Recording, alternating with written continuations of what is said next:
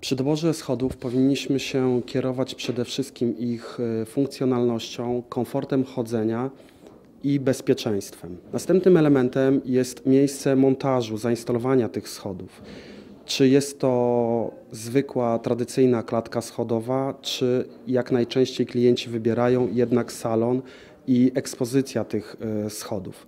Od tego dalej będą uzależnione inne elementy, takie jak kolor, jak wzór, którym będą miały się dopasować do tego wnętrza. Klienci w tej chwili najczęściej decydują się na proste formy, zgodne z obowiązującymi trendami. Trend e, skandynawski czy loftowy, gdzie dużo jest użytych takich materiałów jak stal, jak e, szkło. Są to proste formy, kolory raczej zrównoważone, takim jak styl skandynawski, czyli jest dużo białych kolorów. Bezpieczeństwo schodów zależy na pewno od ich konstrukcji, od liczby elementów konstrukcyjnych w nich zastosowanych, od y, sposobu montażu, od rodzaju zastosowanej balustrady. Są kryteria, która balustrada powinna spełniać.